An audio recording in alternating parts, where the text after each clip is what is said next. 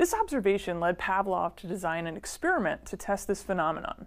In this experiment, he first showed that dogs would salivate when food was placed in front of them, just like how we salivate when we see our dinner. Salivating towards food is an unconditioned response, or UR. This is because it is outside of an animal's control, so we don't have to do anything to elicit that response. The unconditioned stimulus, or US, is what causes the unconditioned response.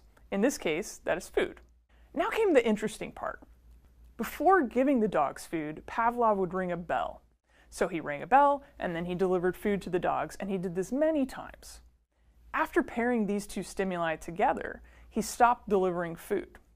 What he found was that the dogs now salivated to the sound of the bell, even in the absence of food.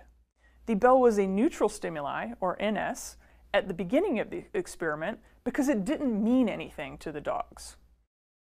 However, after repeatedly pairing or connecting the sound of the bell to the delivery of the food, the bell became a conditioned stimulus, or CS.